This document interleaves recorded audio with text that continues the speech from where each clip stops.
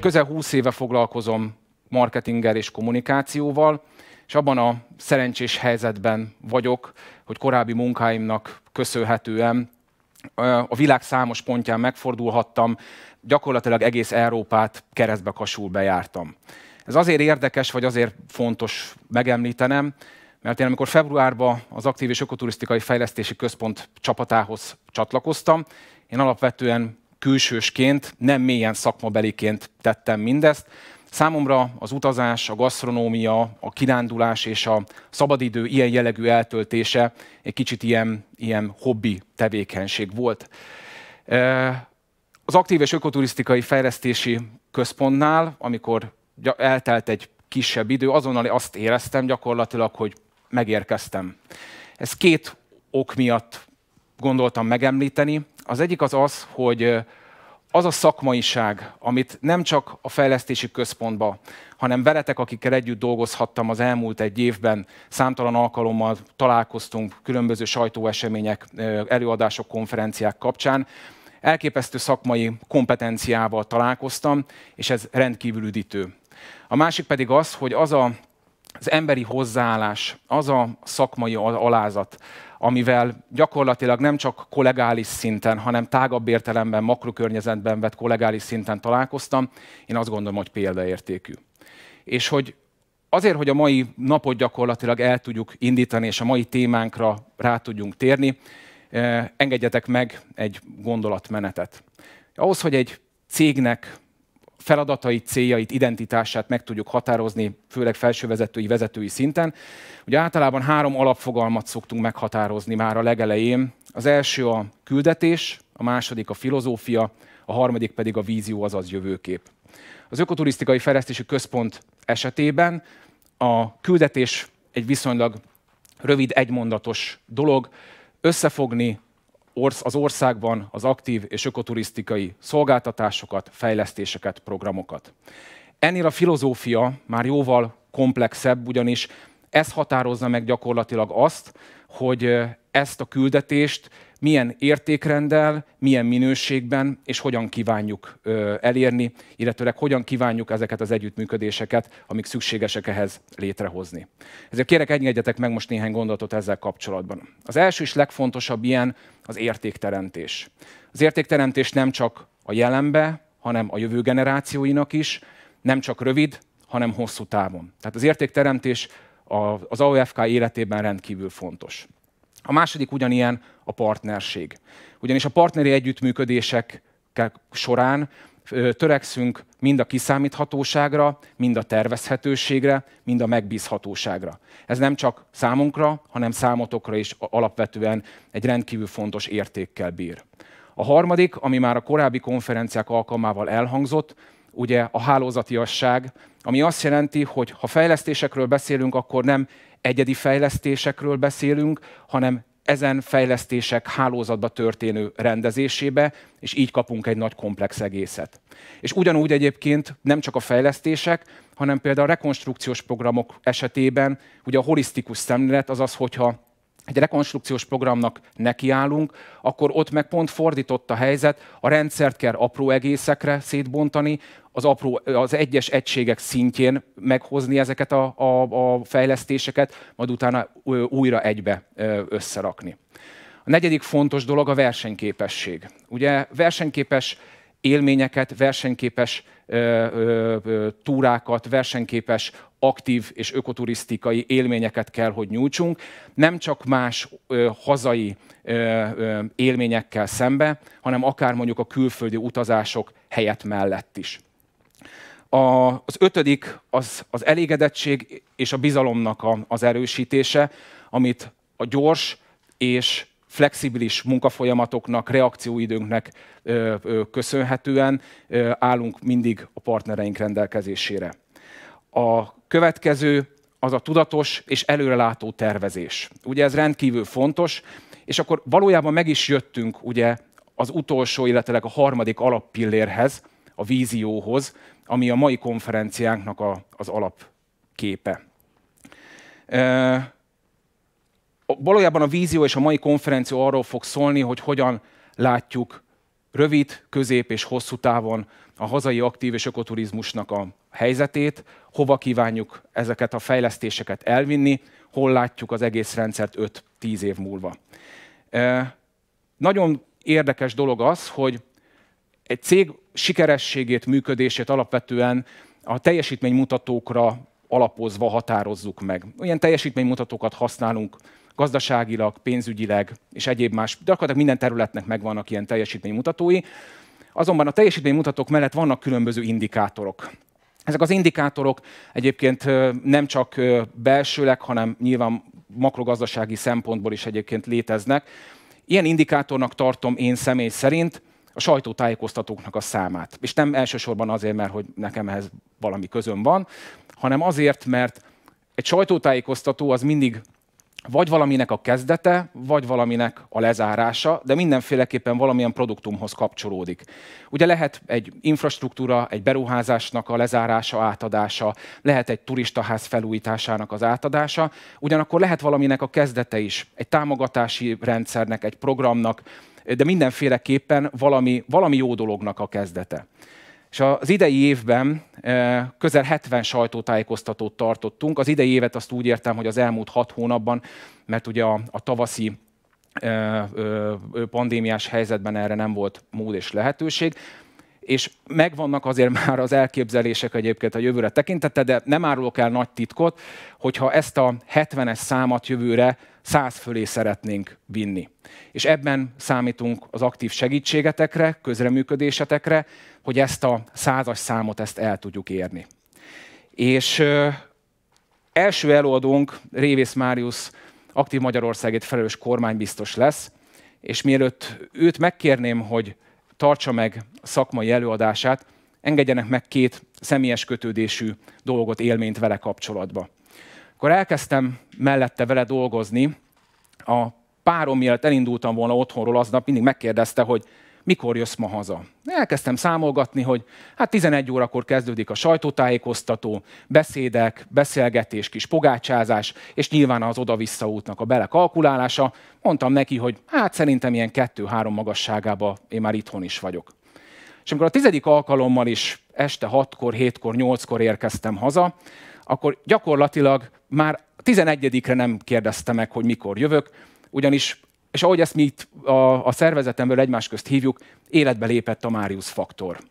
Ez a Marius faktor, ez valójában azt jelenti, hogy mikor elmentünk egy-egy ilyen eseményre, akkor a Máriusz, ha már úgy gondolta, hogy ott vagyunk, akkor nézzünk meg még egy kilátót, nézzünk meg egy erdő közepén lévő erdei tábort, nézzünk meg esetleg egy elhagyott KSH üdülőt, tehát, hogy ő felhasználta ezeket az alkalmakat arra, kutatva, keresve, hogy hogyan lehet még többet, még jobbat, hogyan lehet további segítséget nyújtani bárkinek is, és pontosan ezt a hálózati szellemet vitte ő ebbe az egész történetbe bele. Tehát valójában egy perc megállás, egy percnyi szabadidő, szabadság ilyen téren nem volt számunkra, ugyanis mentünk előre, és kerestük, kutattuk a következő lehetőségeket. És ez, én azt gondolom, hogy egy rendkívül tiszteletre méltó és egy rendkívül előremutató dolog, ami én azt gondolom, hogy a jövőképet is ilyen formában meg fogja határozni.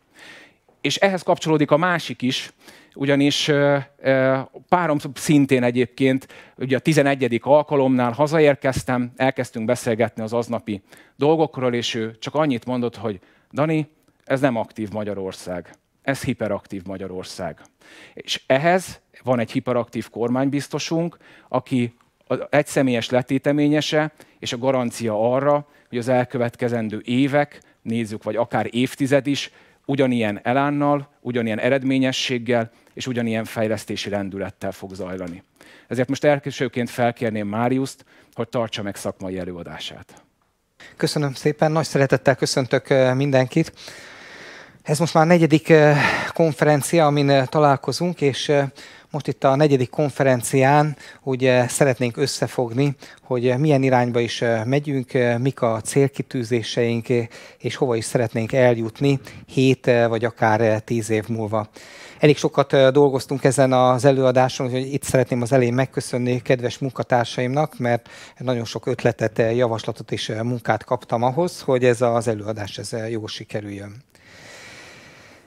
A mai előadásom, mint mondtam, össze szeretnénk foglalni, hogy a következő időszakban hova szeretnénk eljutni, merre szeretnénk elérni, és állítjuk össze az Aktív Magyarország programot, az Aktív Magyarország stratégiát. És hogyha igazából össze szeretnénk foglalni nagyon röviden, hogy hova szeretnénk eljutni 7 év múlva, akkor annyit tudunk mondani, hogy 7 éven belül szeretnénk a legélhetőbb eh, európai országok közé tartozni, ahol az emberek aktívan töltik a mindennapjaikat, ahol sokat mozognak, sokat vannak a természetben, a természetre vigyáznak, és összefoglalva egészségesen élnek.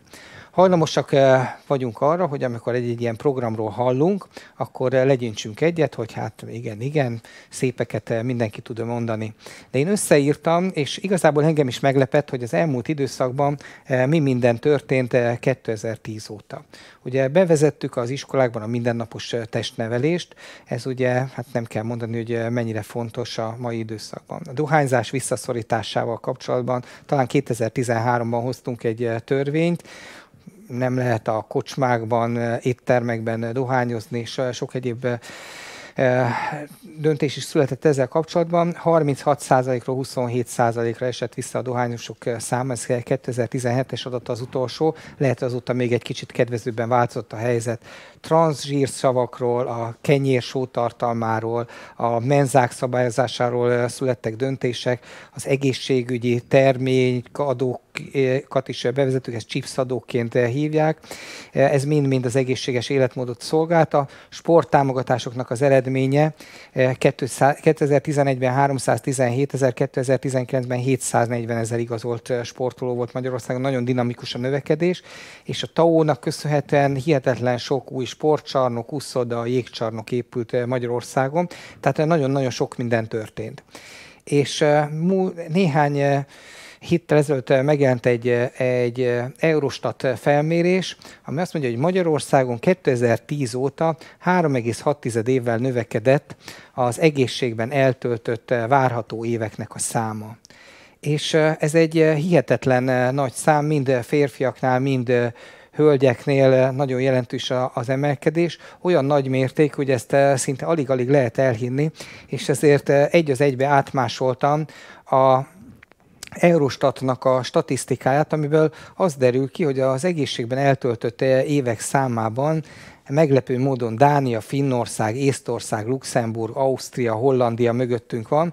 Ez eh, szinte hihetetlen, nekem is a hihetőségi határomon eh, túl van ez a statisztika, de kétségkívül az Eurostat eh, ezt, a, ezt az anyagot jelentette meg nem túlságosan régen, és próbáltam utána járni, hogy van-e valamiféle más adatsor is, ami alátámasztja, hogy rendkívül jelentős javulás történt 2010 óta. És igazából van a háztartás háztartások jövedelmi viszonyának a vizsgálata az szintén a múlt, ez a múlt héten jelent meg, és ebben van egy olyan kérdés, hogy az egészségét hogyan értékeli a lakosság.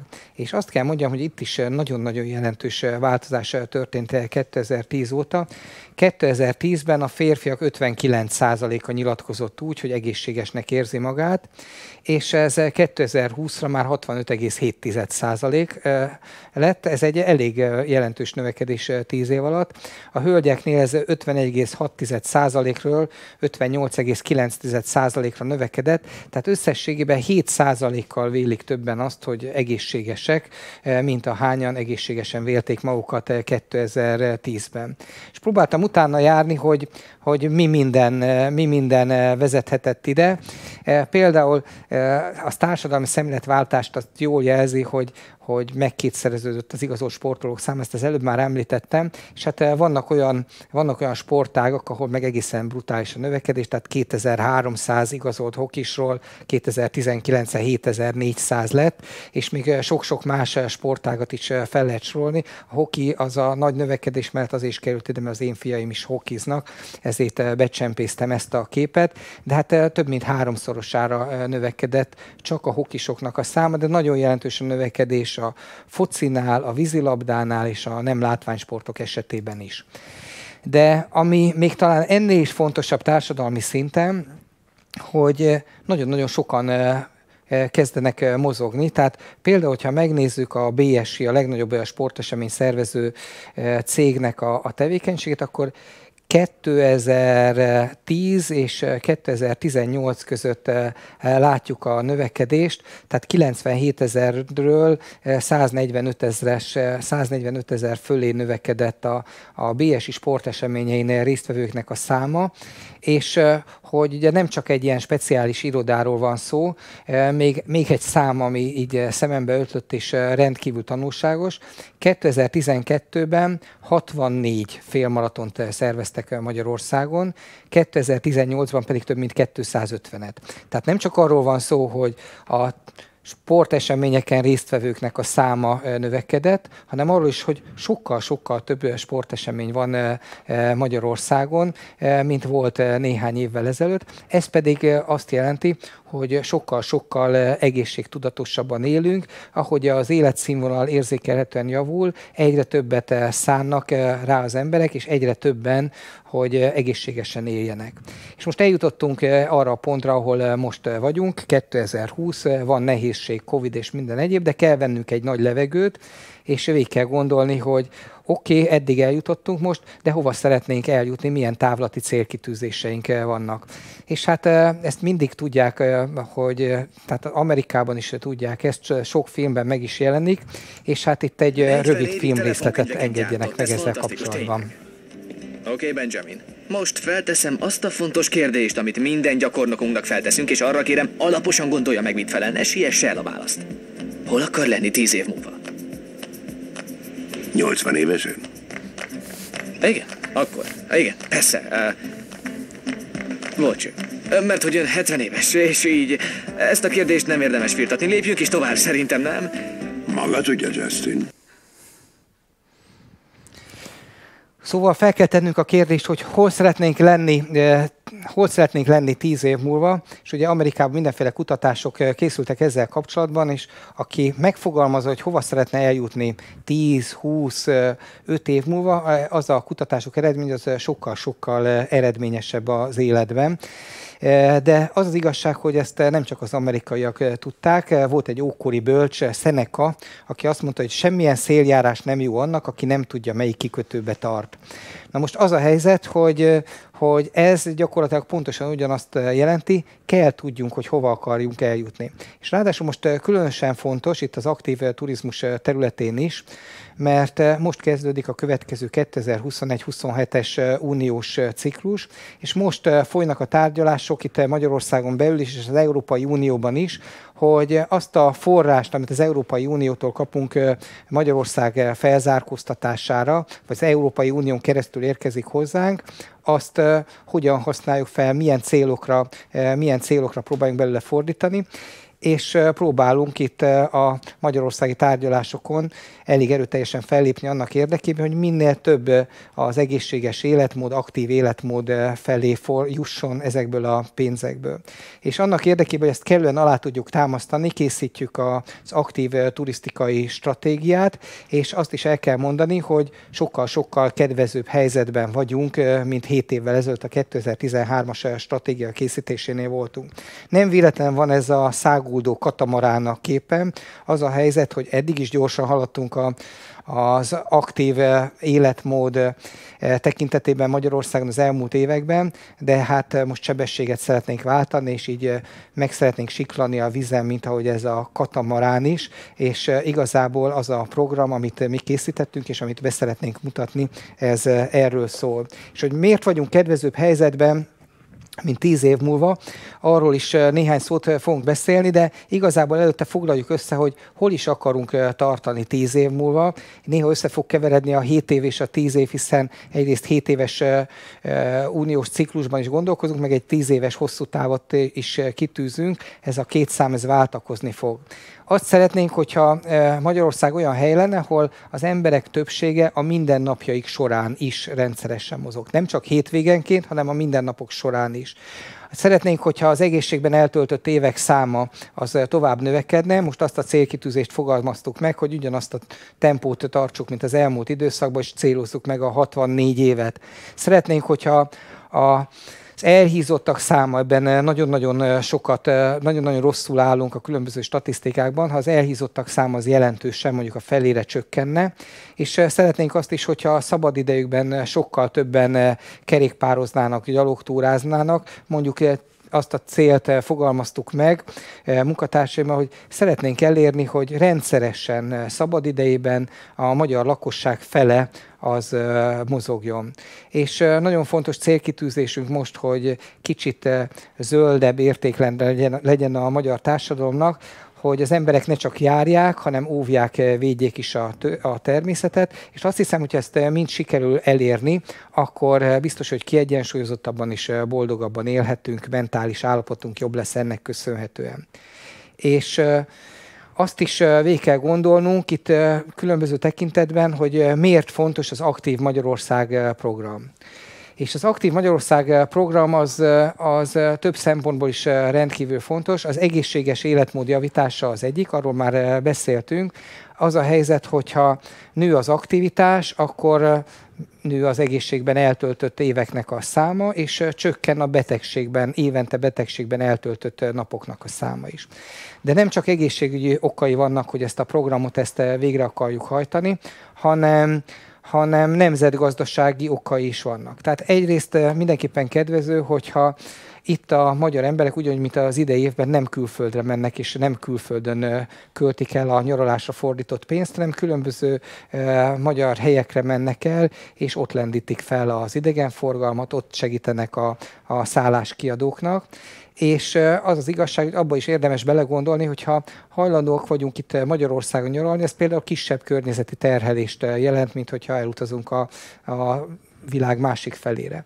Nagyon jelentős a program abból a szempontból is, hogy a vidékfejlesztés tekintetében is, hogyha bizonyos régiókat turisztikai szempontból vonzóvá tudunk tenni, akkor ott a, a térségnek a gazdasági ereje, lakosság megtartó képessége az mind, mind növekszik, és azt is érdemes végig gondolni, hogy hogy ezek a programok segítenek abba, hogy a helyi identitásunk megerősödjön. Tehát ha mondjuk Bodrogolasziban azt látják, hogy a nyaraló hajókkal kanadai, japán és mindenféle nyugat-európai állam polgárok kikötnek, és nagyon jól érzik magukat, és el vannak állva, hogy mennyire gyönyörű a Bodrog, mennyire gyönyörű a Tisza. Ez biztos, hogy az ottani helyi emberek önérzetének is nagyon jót fog tenni, de azt kell mondjam, ez a program, ez a nemzeti identitásunk szempontjából is segíteni fog, hiszen ha azt látjuk, hogy egy nagyszerű országban élünk, akkor biztos, hogy büszkébbek is leszünk erre az országra. És miért is mondtam néhány diával ezelőtt, hogy sokkal jobb helyzetben vagyunk most a 2021-27-es ciklus előkészítése során, mint 2013-ban voltunk. Annak viszonylag egyszerű az oka. 7 évvel ezelőtt, 7-8 évvel ezelőtt így nézett ki gyakorlatilag az a csapat, aki a, a elő kellett volna, hogy készítse az uniós ciklusnak a uniós ciklus forrásainak az elosztását. E, voltak szervezetek, ezek között e, nem volt semmilyen kapcsolat, e, teljesen ötletszerűen kerültek be mindenféle javaslatok a, a, a 2013-as, 20-as uniós terveit Magyarországon. Egyetlen példát hadd emeljek ki ezzel kapcsolatban. Szerepelt benne, hogy egy területen egyféle jármódot lehetett támogatni. Tehát, hogyha valahol mondjuk vizes fejlesztés történt, akkor azon a területen nem lehetett mondjuk kerékpáros fejlesztést végrehajtani, vagy lovas fejlesztést lehet sorolni tovább. Mi ezt teljesen értelmetlennek tartjuk, sőt, pont az ellenkező irányba szeretnénk menni, mert azt gondoljuk, hogy integrált csomópontokat kell szervezni, ahol egyébként a vizesek, a lovasok, a kerékpárosok, gyalogtúrások, mindenki, aki ott a térségben megfordul, eh, megtalálják a megfelelő feltételeket. És hogyha most megnézzük a, azt az ábrát, hogy azok a szervezetek, akik eh, az előbbi ábrán voltak, azok, eh, azok most egy rendszert alkotnak, Hát itt a rendszer közepén az Aktív Magyarország kormánybiztosság és az Aktív Ökoturisztikai Fejlesztési Központ áll a mi nézőpontunkból szemlélve, és az a helyzet, hogy nagyon-nagyon sok civil szervezettel, állami szervezettel, nemzeti parkkal, erdészettel vagyunk kapcsolatban, és nagyon sok olyan civil szervezet alakult, amelyek egyébként 7 évvel ezelőtt nem is voltak. Néhányat szeretnék kiemelni ebből.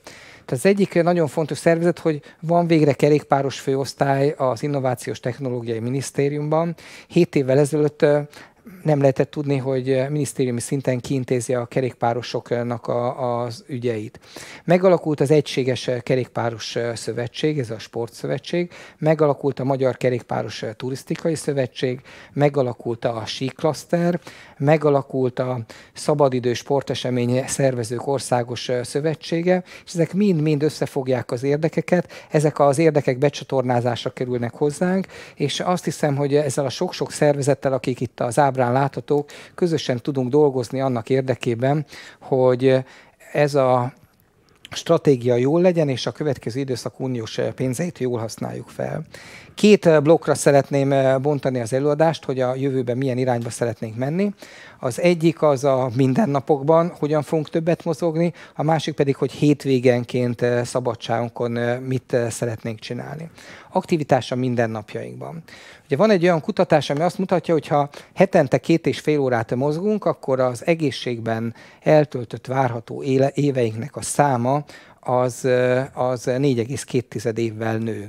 Ez egy hatalmas szám, két és fél óra az nem olyan nagyon sok egy héten, de érdemes ebbe belegondolni, hogy, hogy heti két és fél órával több mint négy egészségben eltöltött évet nyerhetünk. És az egyik lehetőség, hogy a mindennapokban hogyan mozogjunk, hogy a közlekedési időt is próbáljuk kihasználni. És igen, látszik az, hogy azokban a városokban, ahol nagyon sokan közlekednek biciklivel, ott, ha most ezeket a bicikliseket a képen megnézzük, elhízott embert nem látunk közöttük. Mindenképpen ez a, a embereknek a mentális állapotára is jót tesz, jót tesz másképp, másképp fogják elindítani a napjukat, másképp indulnak a munkába. És a közlekedésen túl azt kell mondjam, hogy még elindítottuk az aktív városok programot is, néhány elemét ennek is szeretném felvillantani. Az egész világ egyébként, vagy a világ nagyvárosai, azok mind az élhető, sétálható városok irányát tűzték ki célul, és a múlt héten bemutattuk Jeff Speck könyvének a fordítását, ami a 101 szabály az élhető városért címet viseli. Nem tudom ezt most részletesen elmondani, mert, mert egy igen hosszú könyvről van szó. Érdemes megvenni az aktív magyarország.hu honlapon, a közlekedési múzeum honlapján ez megvehető. Igyekszünk eljuttatni a döntéshozókhoz, de az a helyzet, hogyha nagyon röviden összefoglaljuk, akkor annyit tudok mondani, hogy érdemes élhető városok irányába elmenni, hiszen az élhető városok biztonságosabbak, felértékelődnek benne az ingatlanok, több és jobb munkahelyet generálnak, jobb a levegő, egészségesebb, az emberek többet mozognak, ezért karcsúbbak. Mindenféle elképzelés itt ebben a 101 szabályban meg van fogalmazva. Az egyiket ki szeretném emelni.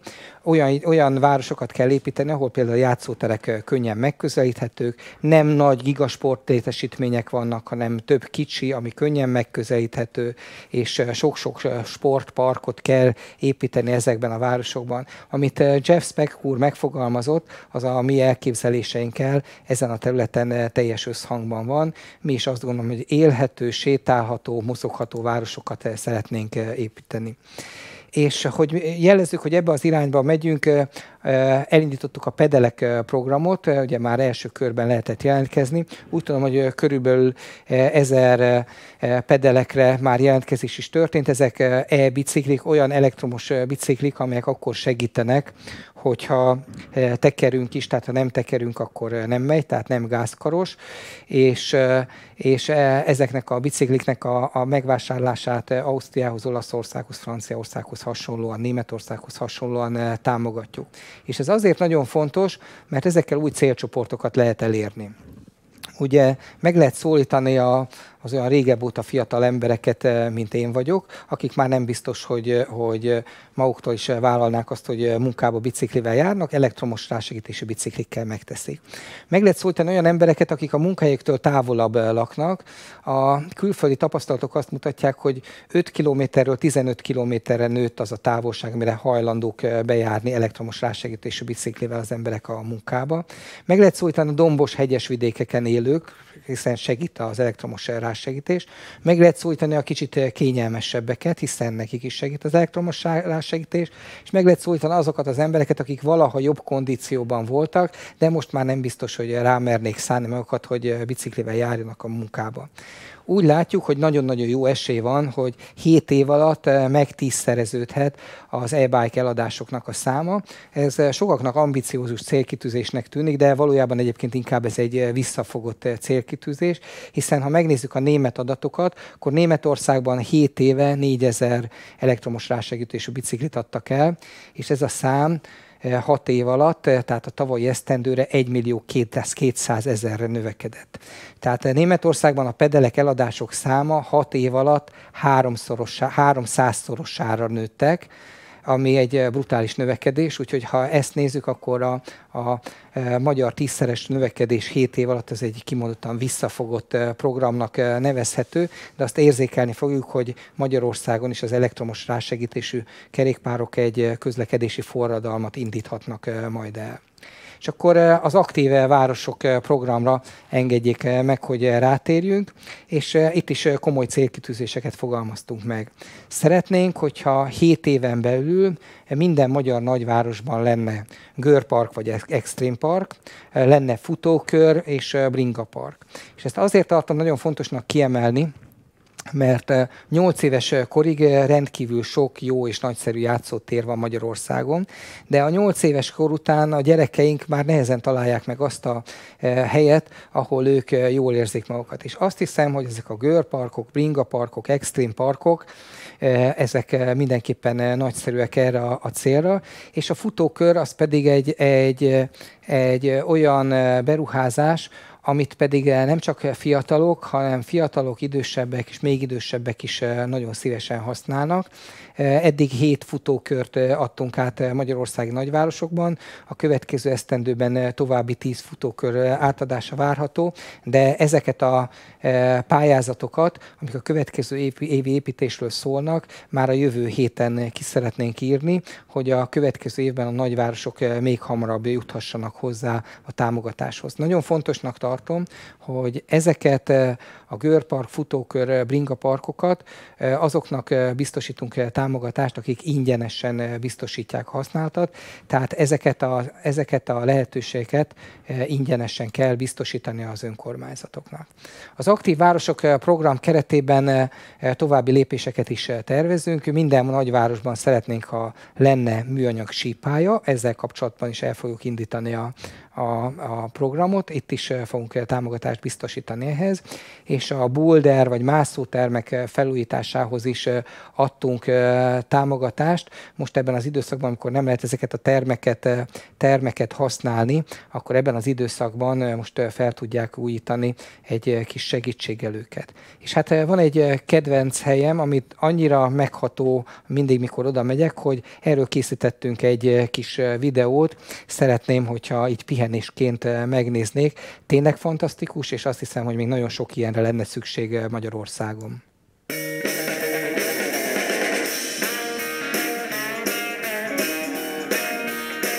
Szinte minden gyereket ismerek, aki bejön. Hát ez a mindenem, tényleg. A rolleres gyerekeket szinte én neveltem fel, olyanok számomra, mintha a családtagjaim lennének. 200 gyerek. Nagyon sok minden volt már a csarnokban, snowboard verseny, motocross, autókiállítás, mindennek adunk teret. Ugye mivel járnak ide hátrányos helyzetű sportolók is, be lehet őket szerintem engedni úgy, hogy mások nem tudják, hogy ők ingyen járnak ide. Akinek nem adatott meg az a lehetőség, mint másoknak, az miért ne kaphassa meg ezt. Tehát beengedem, sportoljon, érezze magát jól, mert a csarnok az ezért épült a gyerekeknek.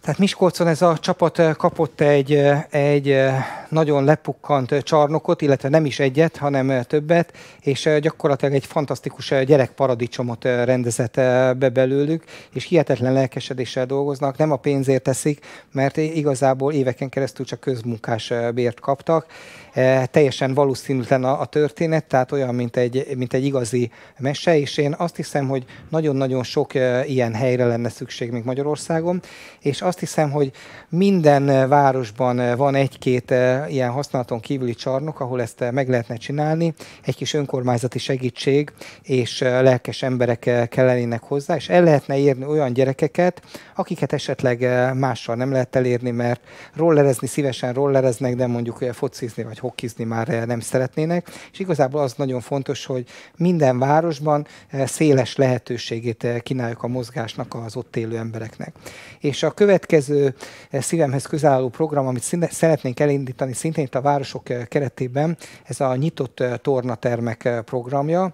Októbertől áprilisig kevés a mozgási lehetőség, és ugyanakkor azt látjuk, hogy péntek esténként bezárjuk a tornatermeket, majd hétfőn reggel kinyitjuk az a célkitűzés, hogy ki kell nyitni hétvégén a tornatermeket. Székesfehérvár erre nagyon jó példa, bárki rákeres, akkor Székesfehérváron látják, hogy ez nagyszerűen működik, és különböző célcsoportokat is eh, meg lehet eh, szólítani ez a nyitott eh, tornaterem programmal, tehát lehet ezt egy kicsit irányítani, hogy nyugdíjasoknak szervezünk programot, anyukáknak, kismamáknak, ovisoknak, különböző betegségben szenvedőknek, tehát mind, mind tehát lehet célozni ezzel a programmal, és igazából szeretném, hogyha ehhez az elkövetkező időszakban egy kis állami támogatást, egy kis állami ösztönzőt lehetne még pluszban biztosítani az önkormányzatok számára, mert igazán tényleg nagyon fontos, hogy az október-áprilisi időszakban, amikor egyébként is keveset mozognak az emberek,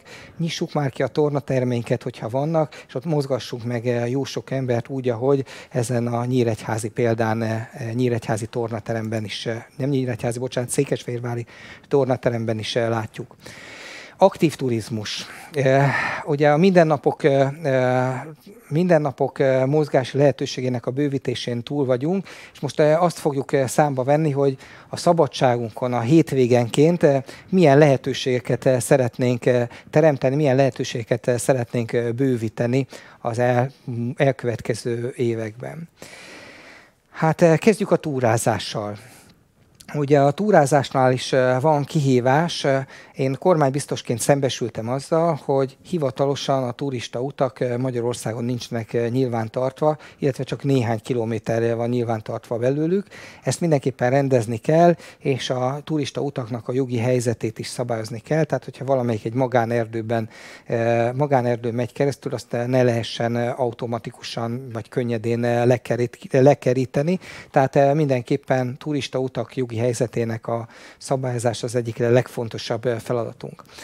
És hát van egy ilyen ikonikus magyar kék túránk, és a kék túra teljesítők számát látjuk. A kék túra teljesítők száma a tavalyi esztendőben elérte a 400 főt a grafikonon úgy tűnik, hogy ez egy nagyon jelentős és látványos növekedés, és ez tényleg így van, de szerintem most, hogy az egészséges életmód kezd előtérbe kerülni Magyarországon, ki kell tűznünk azt a célt, hogy háromszorozzuk meg a kék túrát teljesítőknek a számát. Ehhez vannak feltételek, ugye újra van már festve a kék túra, nagyon sok szolgáltató létesítmény megújult már a kék túra mellett, viszont például a szálláshelyeken, szálláshelyek tekintetében még van hova fejlődni, és bízom abban, hogy a kék túrázók száma, ha nem is olyan gyorsan, mint a Camino esetében, de Magyarországon az elkövetkező időszakban növekedni fog, és növekedni fog azoknak a száma, akik nem az egészet, hanem kisebb részeit eh, teljesítik. Ehhez a feltételeket a Magyar Természetjáró Szövetséggel próbáljuk folyamatosan javítani. Nagyon sok zarándok útvonalat jelöltek ki Magyarországon. Mi egy zarándok tábort indítottunk gyerekeknek a Tihanyba, Bakonybél Pannonhalma útvonalon. Ezt még további két tábor fogja követni, további két útvonal az elkövetkező nyáron, és itt, itt ezeknél szeretnénk a szolgáltatásokat már magasabb szinten kiépíteni. A táboroknak nagyon nagy sikere volt, és azokat a szakaszokat, amik itt vándortáborokon keresztül kicsit felturbóztunk, ezeket idővel szeretnénk összekötni, és ezt, ezt követően nem csak a, a központilag szervezett zarándok vándortáborosoknak, hanem másoknak is segítséget fog jelenteni. Most is nagyon sok helyen építünk, vagy támogatjuk Aszófőn, Vöröstón, Városlődön, vagy Pannonhalmán zarándok, zarándok szálláshelyeknek az építését, úgyhogy ezen a területen is fogunk szépen előre menni. Hét éven belül felújítjuk az összes erdészeti nemzeti parki turista házat. Eddig körülbelül egy munkatársammal összeszámoltuk, 120 felújított turista háznál tartunk. Az elkövetkező időszakban megyünk tovább. Ugye a célkitűzés az, hogy nálunk is olyan turista házak legyenek, mint amilyeneket Ausztriában vagy Szlovákiában láttunk, és azokat a régi idők emlékét, hogy a turista ház olyan, ami kicsit koszos, kicsit dohos, nyikorgós vaságyak vannak benne, ezeket felejtsük el. Azt kell mondjam, hogy a turista házaink eh, ha most valaki elmegy, akkor már döntő többségében eh, nem ezt tapasztalja. Eh, jelentős és gyors fejlődés van. Hét éven belül mindet fel szeretnénk újítani. Új turistaházak építésére is szükség van, többet át is adtunk az idei esztendőben, ahol kell, megyünk tovább, és nem csak erdőkben, hanem vízpartokon és más fontos helyszíneken is lehet, lehet és kell turistaházakat építeni. Az MNV ZRT-vel átnéztük, és az erdőgazdaságok területén nagyon sok elhagyott épület van, és találtunk 20-25 olyan épületet, most vizsgálják munkatársaim, amelyek, amely épületek egyébként kulcsos házá vagy turista házá, valamiféle erdély szállásá alakíthatóak, úgyhogy bízunk benne, hogy ezzel is hozzá tudunk járulni, hogy hogy még többen túráznak majd az elkövetkező időszakban. Programot szeretnénk indítani az ifjúsági táborok felújítására. Ezeknek egy része sajnos eléggé lepukkant az elmúlt időszakban.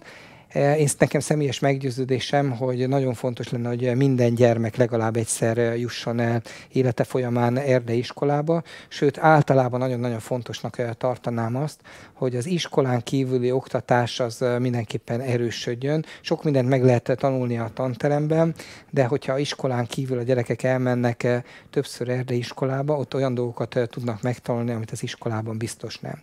A gyerekek szemléletformása szempontjából rendkívül fontosnak tartom a vándortáborozást.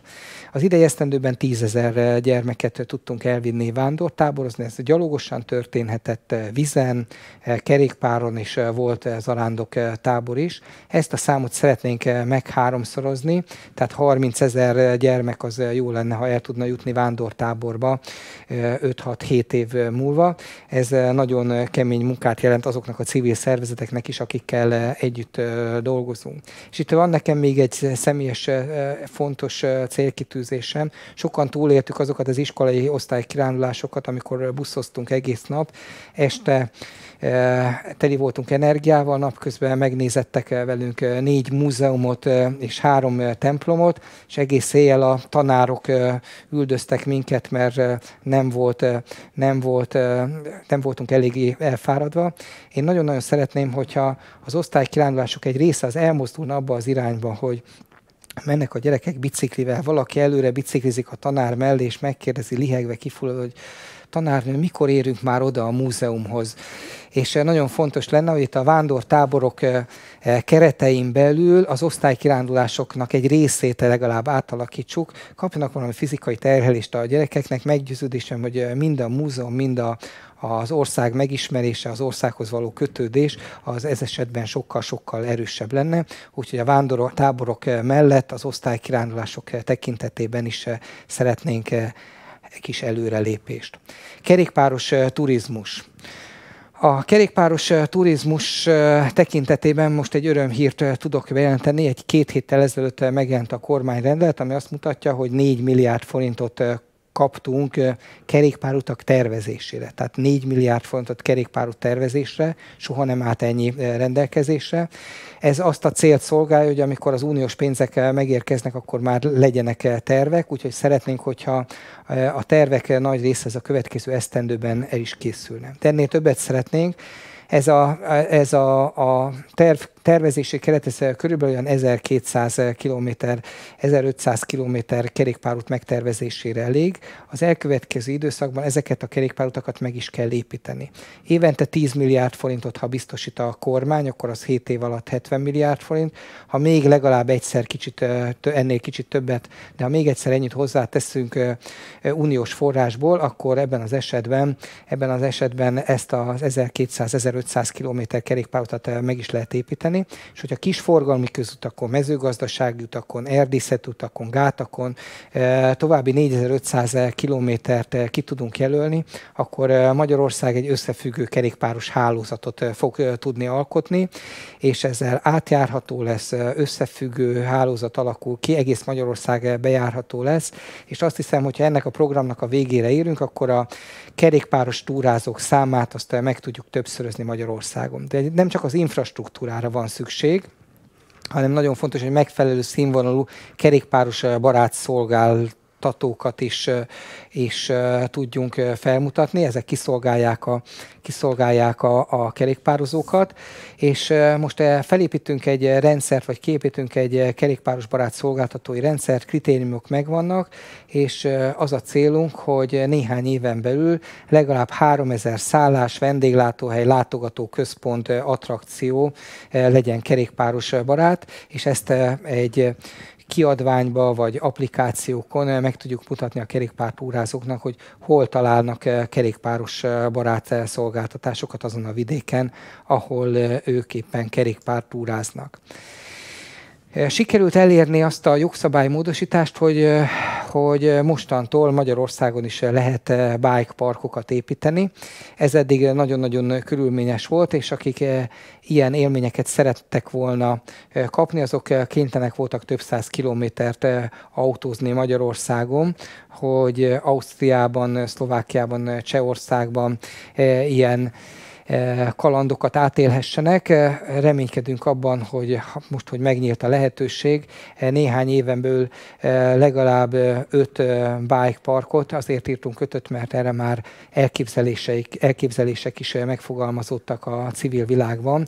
Létre tudunk hozni Magyarországon, ez szintén nagyon sok embernek ilyen kedves élményt fog jelenteni. Elindítottuk ezen kívül az Aktív Ökoturisztikai Fejlesztési Központtal, nemzeti parkokkal, az e-biciklisztben Magyarországon Magyarország nemzeti parkjait. Ezek, eh, ezek olyan túrák lesznek, amit a nemzeti parkok eh, szerveznek, és eh, valamilyen látnivalót, érdekességet fognak bemutatni a túrákon. És az Aktív Ökoturisztikai Fejlesztési Központ munkatársai dolgoznak egy országos kerékpáros kalantúra útvonalon, 1200 km hosszúra tervezik, és és itt mindenféle játék, digitális játék, pecsételő pontok lesznek ezen az útvonalon, úgyhogy reménykedünk, hogy amikor el tudjuk ezt indítani, szintén nagyon sok embert el fogunk érni vele. És hát akkor a következő dia az a vizitúrák útvonal fejlesztéséről szól. Erről volt egy egy előadása, egy konferencia az elmúlt héten. Ennek tényleg csak a legfontosabb elemeit emelném ki. Azt gondolom, hogy nálunk ugyanúgy, mint Csehországban rendkívül fontos, hogy a vízügynek is legyen feladata a vizitúrázás alapfeltételeinek a biztosítása. De nem is csak a vizitúrázás, hanem annak a feltételeinek a biztosítása, hogy például a gátakon lehessen kerékpártúrázni. Tehát azt gondolom, hogy ugyanúgy, mint ahogy az erdészetnél, a vízügynél is az fontos feladat, hogy közjóléti teendőket, közjóléti feladatokat is ellásson.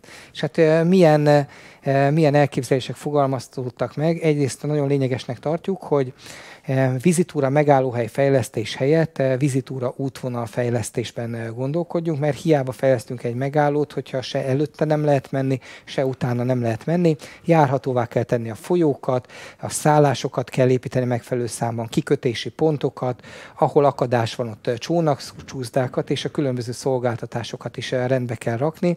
Ebben az esetben Magyarország egy igazi vizitúra paradicsommá válhat a családok számára. Szelít, békés vizeink vannak, ami hogy nem csak a magyar vizitúrázóknak, hanem külföldről érkező vizitúrázók számára is kedvező lehet. Sokan nem tudják, de nagyon jelentős a Magyarországgyűlésnek az a döntés, hogy Magyarország belovagolható. Az európai országok döntő többsége nem. Magyarország csak ott nem lehet lovagolni, ahol ki vannak tiltva a lovasok a területről, és hát nagyon fontos, hogyha már van ez az adottság, hogy, vagy ez a lehetőség, akkor a megfelelő útvonalakat elkészítsük. Tavasszal fogunk átadni két hosszú útvonalat. A közép-magyarországi útvonal az kb. 1200 km lesz ez is, az, az 12 állomással.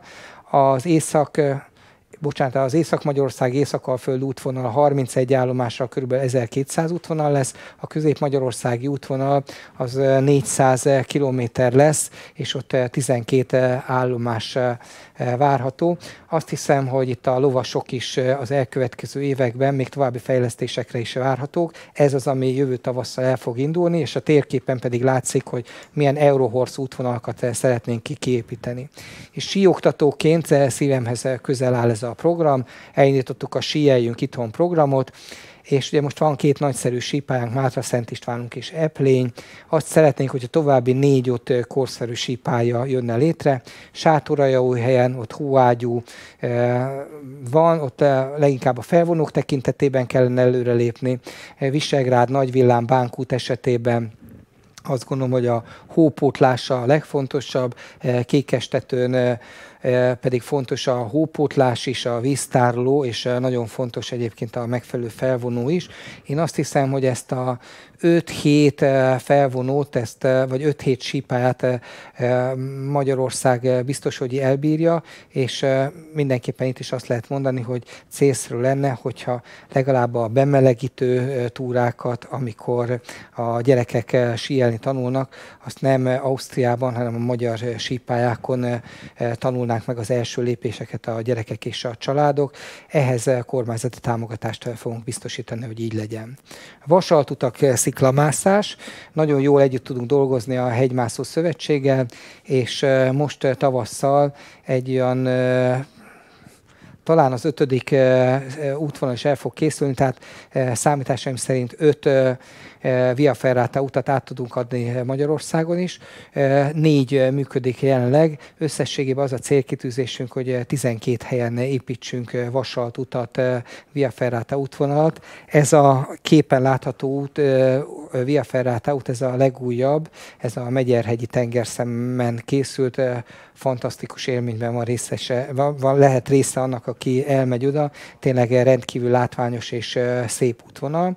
Ezen kívül a Hegymászó Szövetséggel együtt működve támogatást biztosítottunk az összes sziklamászó útvonal felújításához, illetve idén egy részéhez, jövőre szeretnénk a másik részéhez, így az összes sziklamászó útvonalat fel tudjuk újítani, és azt reméljük, hogy akinek ez jelenti a szórakozást, azok, azok értékelni fogják, és még nagyobb számban fognak via ferrátázni és hegyet mászni. De nagyon fontos turisztikai attrakció a kisvasút is, nagyon, akinek gyermekei vannak, azok biztosan tudják, de egyébként sokan enélkül is szeretnek kisvasutazni. Akinek gyermeke van, az nem tudja elkerülni, évente, két évente egyet nem menjen el kisvasutazni. De ezek a kisvasutak eléggé rossz állapotba kerültek, több már balesetveszélyes volt. Elindítottuk a kisvasút felújítási programot, és azt tudom mondani, hogy a következő három évben elfogadta a kormány, hogy 12 milliárd forintot fordítunk kisvasútra, és a program végére érünk, az azt jelenti, hogy az összes Magyarország kisvasút az fel lesz újítva, biztonságos, biztonságos lesz, és innentől már csak az a feladatunk, hogy valamiféle egységes marketinggel segítsük a, a kisvasutazni vágyóknak a munkáját, legyen összehangolt üzemidő, menetrend, legyen egy egységes honlap, ahol minden megtalálható, és szeretnénk egy ösztönző programot, a kisvasútra fel programot újraindítani Magyarországon. Szeretnénk valami motivációs ajándékot biztosítani azoknak, akik Magyarországnak mind a 20 kisvasútját végigjárták. És hát vannak ezen kívül olyan elhagyott kisvasúti, vasúti sinek Magyarországon, ahol talán a vasútazás az, az nem, is, nem is annyira célkitűzés, viszont nagyszerűen lehetne hajtányozni. Munkatársainkkal kipróbáltuk Ober, Oberpullendorfban, Burgenlandban a hajtánypályát, tényleg nagyszerű élmény volt, és úgy jöttünk haza, hogy Magyarországon is mindenképpen kellene ilyet építeni. És hát az első ötlet az a csajtó mentén, pusztaszer határában fogalmazódott meg, Hát amikor eh, kimentünk munkatársammal, teljesen belelkesedtünk. Ez egy hatalmas eh, halastó rendszer, megkapta most a Nemzeti Park. Egészen fantasztikus eh, lélegzetelállító útvonalakon mehet majd a hajtány, úgyhogy azt reméljük, hogy a következő év végére az első hajtánypálya az már el is indulhat Magyarországon. Én azt tudom ígérni mindenkinek, hogy ez a csajtavi hajtánypálya, ez látnivalóban sokkal izgalmasabb lesz, mint amit eh, Burgenlandban át lehet élni. Az se rossz, de ez a csajtavi, ez egészen fantasztikus lesz. És nagyon fontosnak érezzük eh, munkatársaimmal a környezeti nevelést is, és hát egy eh, másik nagy programunk a Hortobágyon, Máté Bence tervei alapján szeretnénk egy olyan madárlest készíteni, amiben akár 40 ember is el tud férni, és és hát ez egy ilyen nagyon érdekes, gyakorlatilag egy fordított állatkert, egy detektív üveg van a lesnek az elején, egy 50 méteres zárt folyosón lehet eh, bemenni, és eh, ha megfelelően beetetjük a madarakat, akkor hát eh, két-három méterről látjuk, hogy a kócsagok, eh, a szürkegémek eh, egymás szájából tépik ki a halat. Ha néha szerencsénk van, akkor, akkor sast is láthatunk. Én annyit tudok mondani, hogy elég sok látogatóközpontnál átértem, hogy körülbelül három és fél percen belül a gyerekeim azt kérdezték, hogy mikor megyünk már innen el. Amikor Máté Bencével elmentünk a lessébe, akkor Bence bezárt minket hajnali sötétedéskor a lesbe, mondván nem mehetünk ki, mert elkergetjük a sast, vagy a sasokat, és csak este engedett ki minket, és el kell mondjam, hogy a gyermekeim nagyszerűen lél, szájtátva, lélegzett visszafolytva figyelték szinte egész nap azt az élményt, amit a természet nyújtott nekünk néhány méteres távolságból. Ezen kívül nagyon fontosnak tartjuk, hogy még további lépéseket is tegyünk, úgyhogy a kerékpárutakra például a műfecske fészkek elhelyezését támogatjuk, és itt információs táblákat is rakunk mellé. Reméljük az első ilyen projektünk jövő év tavaszára elkészül, hogy a fecskék már birtokba tudják venni. Elkészítettük az erdőszelfi könyvet magyar költőkkel, regényes természetnévvel ifjúsági regényíró pályázatot írtunk ki természetvédelem, természetjárás témakörében. Keressük a 21. század Fekete Istvánát, Istvánját, és a magyar természetvédelem sikereiről is szeretnénk egy könyvet megjelentetni. A National Geographic-kal dolgozunk közösen ebben a témában. Nagyon fontos programja a kormánybiztosságnak a nyaralóhajózás nagyon nehéz helyzetben, de nyáron a Covid ellenére elindultunk a felső Tiszán 20 hajóval. A térségben hatalmas a lelkesedés, mind a szolgáltatóknál, mind a polgármestereknél, önkormányzatoknál. Sokat hozzá fogunk tenni a térség fejlesztéséhez, turisztikai attrakciójához itt a nyaralóhajózással.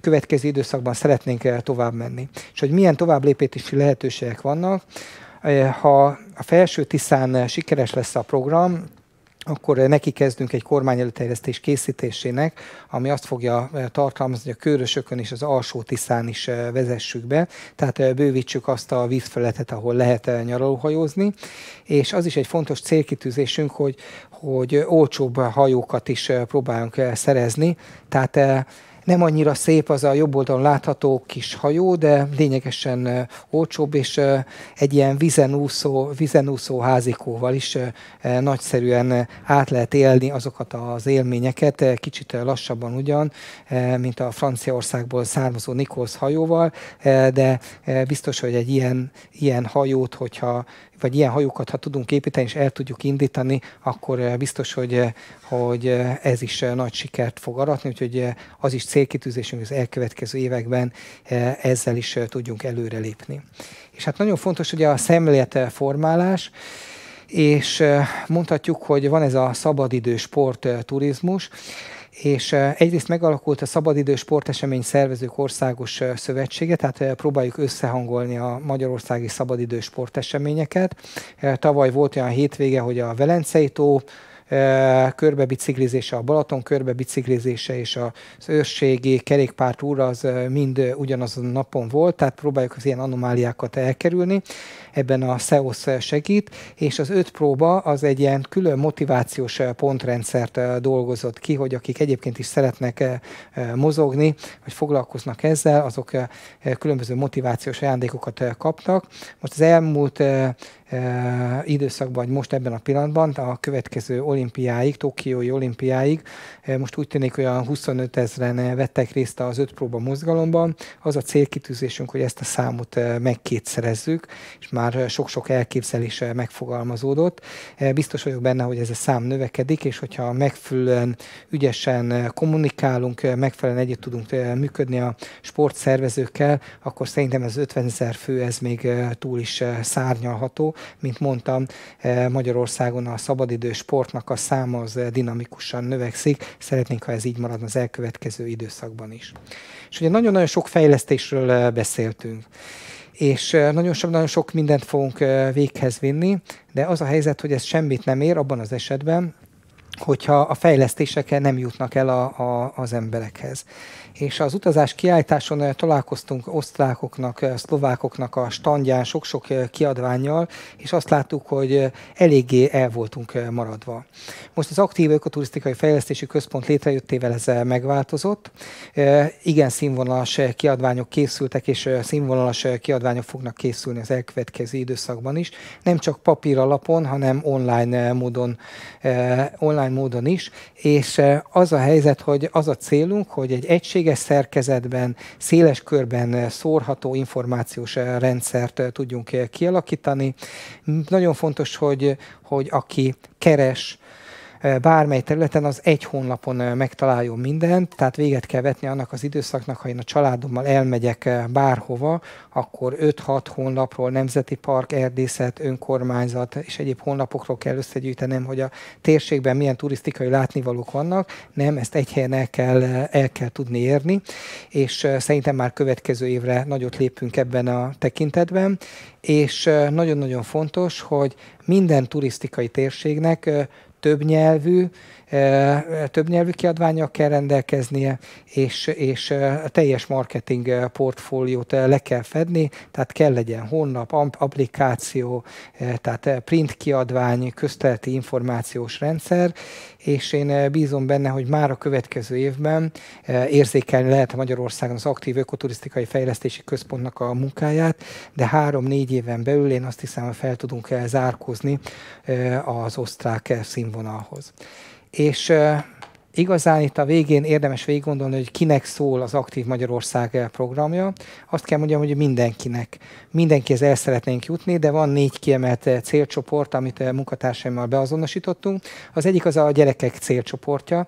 Nagyon-nagyon fontos célcsoport, mert nagyon sokan virtuális világban élnek, és szembe kell néznünk azzal, hogy a telefonokon nagyon-nagyon jó játékok vannak, nagyon élménydús azokkal játszani, és ha meg szeretnénk szólítani a gyermekeket, akkor ezekkel a virtuális játékokkal kell versenyképes élményeket, kalandokat nyújtani nekik. Ezért indítottunk el nagyon sok mindent a, a digitális tanösvénytől elkezdve, ezért a verses kötetet, az erdőszelfit, ezért szeretnénk ifjúsági regényíró pályázatot, szeretnénk jó ifjúsági regényeket ebben a témakörben, tehát a gyerekek célcsoportja rendkívül fontos. Nagyon fontos az egyetemisták, fiatalok célcsoportja, minden kutatás azt mutatja, hogy ez az időszak, amikor úgy felfüggesztik az emberek a mozgásukat. A legkevesebbet öt próbázóknál máshol is azt látjuk, hogy a fiatalok mozognak, érdemes ezen változtatni. A következő célcsoport a család, itt leginkább azt kell tudni elérni, hogy egységesen nyújtsuk nekik a szolgáltatásokat, könnyen megtalálják és hát azt látjuk, hogy a nyugdíjasok is egy rendkívül fontos célcsoport, tehát ha elmegyünk a fertőtó körül, akkor azt látjuk, hogy rendkívül sok nyugdíjas kerékpározik hatalmas csoportokban. Magyarországon még nem jutottunk el ide, de igen, a magyar nyugdíjasoknak is, is hogy mondjam, még egy kis motivációt kell adni, még egy kis lehetőséget kell biztosítani, hogy aktívabban éljenek, és az ő közérzetük is nagyon sokat fog változni ennek köszönhetően. És azt hiszem, hogy érzékelhető, hogy nagyon-nagyon sok tervünk van, de ha sikerül ezt a sok-sok tervet megvalósítanunk, akkor 7 év múlva egy olyan Magyarországon fogunk élni, ahol az emberek többet mozognak, több időt töltenek a természetben, egészségesebben élnek, fittebbek lesznek, és azt hiszem, hogy ez mind teljesül, akkor azt is el tudjuk mondani, hogy boldogabban fogunk élni. És én itt a végén szeretném megköszönni mindenkinek, aki ezt a munkát segíti. Köszönöm elsősorban a munkatársaimnak, nagyon sokat segítettek az előadásban is, meg a, a programok kidolgozásában, meg programok végrehajtásában. Külön szeretném megköszönni annak a nagyon sok civil civil szervezetnek, aki velünk dolgozik, a minisztériumoknak, a cégeknek, és azt hiszem, hogy ez egy olyan munka, egy olyan cél, amiért érdemes együtt sokat dolgozni, mert egy jobb, élhetőbb Magyarországhoz vezet. Köszönöm szépen!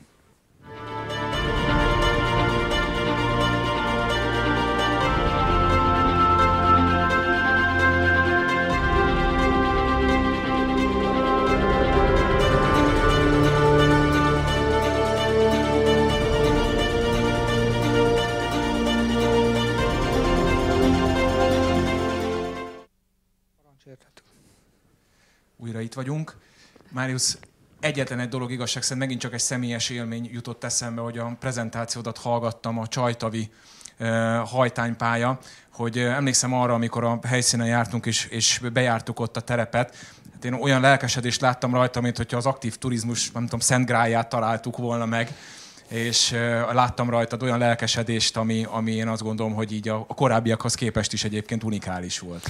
Igen, mert nagyon régóta tervezzük, hogy keressünk egy jó helyszínt egy eh, hajtánypályának, és eh, a, a csajtó az, eh, az minden szempontból ideális volt, hiszen egy nyolcas alakú vasúti pálya volt, tehát nem kell megoldani azt a problémát, amit Burgenlandban, hogy egyik nap ebbe az irányba mondjuk másik nap vissza, hanem körbe lehet járni. Egészen fantasztikus, egészen fantasztikus a, a környezet, és tényleg láttam, hogy, hogy itt van az a lehetőség, hogy most vette át ezt a helyet a, a Nemzeti Park, és a Nemzeti Parkkal közösen ki lehet azt alakítani, hogy most abban a pillanatban, eh, amikor itt a madarakat próbálják visszaszoktatni, akkor már a turisták is, eh, tehát hogy, hogy egészen fantasztikus lesz a kócsagógi gémek között eh, hajtányozni. Én, én tényleg nagyon hiszek benne, hogy 5-6 éven belül ez a hajtánypálya úgy fog kinézni, hogy, hogy ha valaki volt a burgenlandi hajtánypályán, meg meg ezen, akkor azt fogja mondani, hogy hát a burgenlandi hajtánypálya az a fasorba sincs a csajtavihoz képest, és én ezt tényleg látom, látom szemeim előtt, hogy ezt meg lehet csinálni, úgyhogy ezért voltam annyira lelkes. Igen.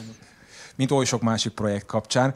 És akkor érkezett hozzánk egy-két kérdés, amit ben a közreműködésedet szeretném kérni. Az első kérdés az így hangzik, hogy a sport és a turizmus két különböző terület köztük némi átfedéssel. Milyen kritériumrendszert vesznek figyelembe akkor, amikor egy kisebb-nagyobb sporteseményt turisztikai szempontból relevánsnak tekintenek, illetve hogyan mérik a sportesemények turizmusra gyakorolt hatását? Van erre különböző felmérés, én a legutóbb Kocsis Árpád BSI igazgatónak az előadását hallottam, aki egyébként egy hosszú előadást tartott, és azt hiszem, hogy valamelyik nagy nagy cég is ezt vizsgálta, hogy például a maratonoknak milyen hatása van a, a turizmusra, és, és hát most a, a számokat nem tudom visszaidézni, de ez több ezres nagyságrendben érkeznek például a Budapest maratonra résztvevők, akik általában nem egy napra jönnek, mert hát egy maratont futni az nem olyan, hogy előző este megérkezünk, futunk, aztán aznap hazamegyünk, hanem ezek ilyen három-négy napos túrák. Nem tudom, talán a KPMG csinálta a tanulmányt, de ebben nem vagyok biztos, és kiszámolták, hogy igen, jelentős turisztikai bevételt generálnak ezek a rendezvények. És, és azt látjuk, hogy elindítottuk az öt próbázást, és az öt próbázásnak része az, hogy kedvező feltételekkel féláron lehet vasúttal elmenni, öt próbázni az ország különböző pontjaihoz, és azt látjuk az adatokból, hogy az öt próbázásnak köszönhetően a helyi versenyek, a, a helyi kisebb események, azok létszámban nagyon jelentőset növekedtek, és hogyha valaki elmegy mondjuk az őrségbe biciklit túrázni, akkor nem fog visszajönni azon a napon. Ráadásul sok vidéki esemény az úgy van megszervezve, hogy egyik nap van futás, másik, másik nap van kerékpározás, és most ebben az előadásban nem emeltem ki, de nekünk nagyon-nagyon fontos célunk, hogy egy-egy régió az ne csak egy futó kaland legyen az embereknek, és lehetőleg ne is egy egy éjszakás kaland, hanem hogyha elmennek egy, egy helyre, akkor, akkor ott egy két-három napot töltsenek el. Azon dolgozunk, hogy olyan programcsomagokat állítsunk össze, hogy két-három-négy napot az ország egy-egy régiójában eltölthessenek az emberek. Nagyon szépen köszönjük. Következő kérdés az így, így hangzik, hogy inkább, inkább komment lenne, vagy megjegyzés, hogy 8 év felett nincs játékeszköz, görpark, futókör, bringapark, műanyag sípája. Ez szerintem nagyon jó irány. Minden városban legyen ilyen. Pontosan ez a célkitűzésünk, erről szólt az előadás. Ugye elindítottuk a, a Bringa Park programot. A Bringa Park az 27 városban fog megépülni jövő nyára. Futókör az 17 városban lesz. A jövő nyára a mi programunkon keresztül. Görpark is lesz tízben, és még egyszer mondom, még idén decemberben meg fogjuk hirdetni a következő pályázatokat, úgyhogy én reménykedem, hogy, hogy a nyolc év feletti gyermekek is sokkal nagyobb arányban meg fogják találni a, a lehetőségeket. Focipályák vannak, de be kell látni, hogy nem minden gyermek szeret focizni, és igazából azt szeretnénk, hogyha minden gyermek mozogna. Aki biciklizni szeret bicikli, aki görkorcsolyázni, görkorcsolyázni, aki focizni, focizni, tehát teljes, teljes széles spektrumot kell biztosítani. Az a lényeg, hogy a, a gyermekeink a következő generáció mozogjon. Igen, hát ez, ez, ez mindannyian közös célja. És akkor még egy kérdés, hogy milyen források állnak rendelkezésre az Aktív Magyarország programra és az Aktív Városok programra? Arról próbáltam beszélni, hogy, hogy most is van valamekkora forrása a kormánybiztosságnak.